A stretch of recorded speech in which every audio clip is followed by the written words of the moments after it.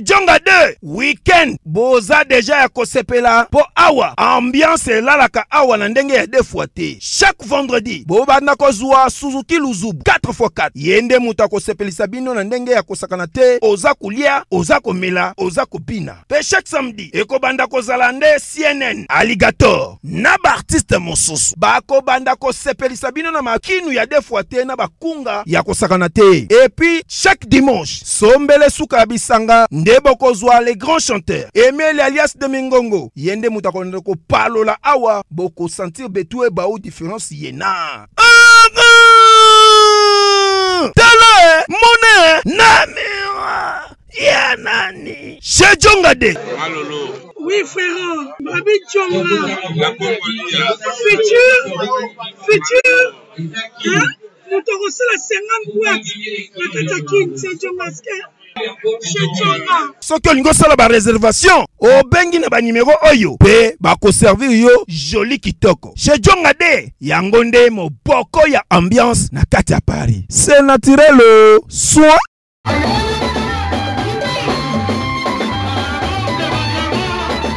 Je suis venu vous annoncer l'ouverture des 100 jours de jeûne et prière. Je connais le Dieu d'Abraham, le Dieu d'Isaac, le Dieu d'Israël, le Dieu d'Haïti, Nabala, le Dieu de mon père, Polia. Nous croyons à ces dieux-là. Envoyez vos sujets de prière. Envoyez vos requêtes. Nous allons prier pendant 100 jours de jeûne et prière. Voilà mon numéro de contact. 07 66 27 40 0 Vous pouvez vous abonner à notre chaîne YouTube. Sacerdoce TV, sur Facebook Israël Konde Mais voilà notre adresse. Vous pouvez venir nous joindre et prier avec nous chaque mercredi et dimanche de 15h à 18h sur 9 rue de la poterie Saint-Denis. Que mon Dieu vous bénisse.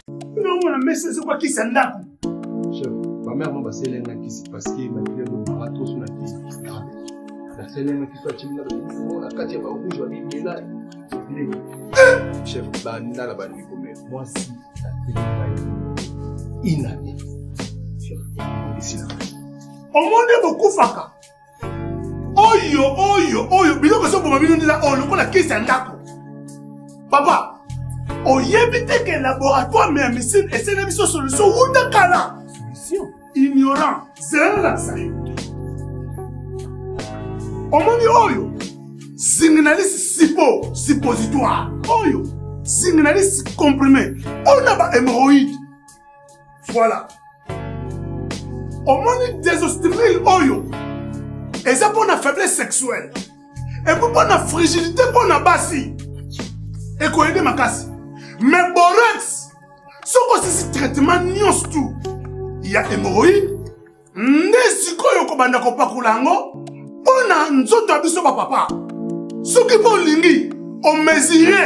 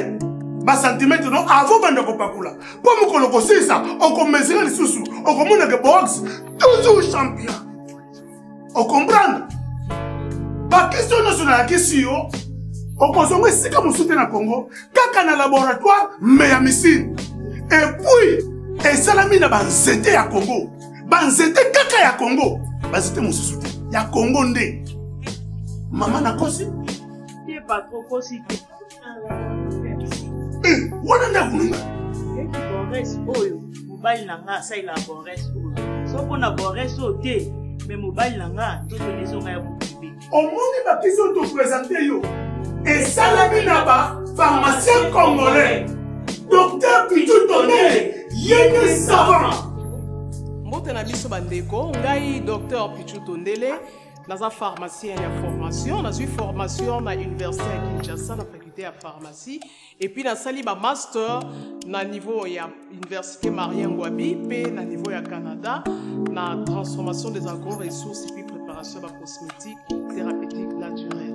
Nazali ko œuvre na laboratoire CRMTA oyo ezali laboratoire MMC spécialisé na production ya ba phytomédicaments c'est-à-dire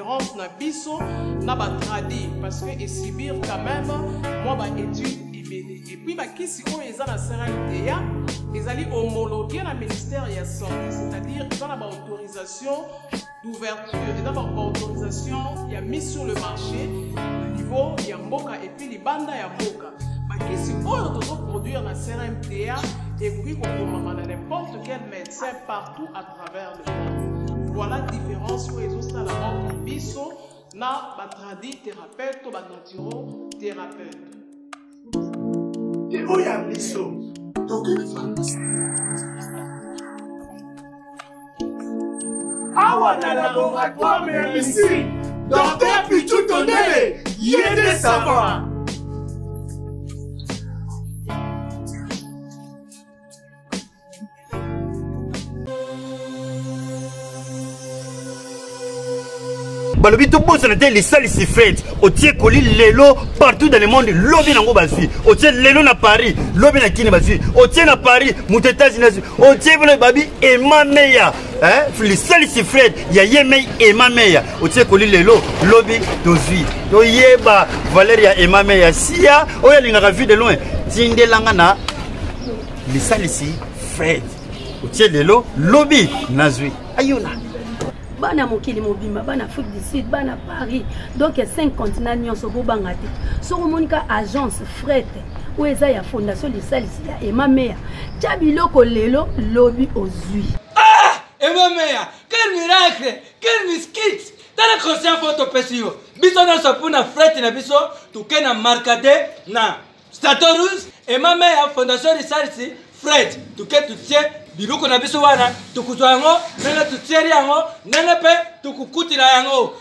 ndeko zala na conscience ya Fred fondation et ma mère tya biloko na yo kuna okozwa yango na kisasa okozwa yango partout okozwa mpe na poto otii na amérique okozwa na amérique otii ye na france okozwa mpe partout uti na congo ekei na poto euti kuna ekozwama kaka emame ya fondation lisalisi ntango toyebisa bino fondation mpo bango babanda na biso na fondation depuis kala ti lelo tokomi baimmeuble aza kaka wana na biso toyebi bino emame ya fondation fret ofretaka biloko no wapi okotisaka biloko wapi esalaka ba 2 ans 3 ans po ekoma olembi mais awa nde makambo ah, bato akoye nde tozolinga mpo makambo ekende liboso otye biloko ne lelo ozwi lobi otye lelo ozwi lobi ngai nakomandaki lineti na ngai lobi lelo nazwi yango nalati awi ah toza mosika te na france eh, na france na rimarka te bana chateau rouge bayebi makambo nazolobela bana chateau rouge bayebi makambo nazolobela biso erataka te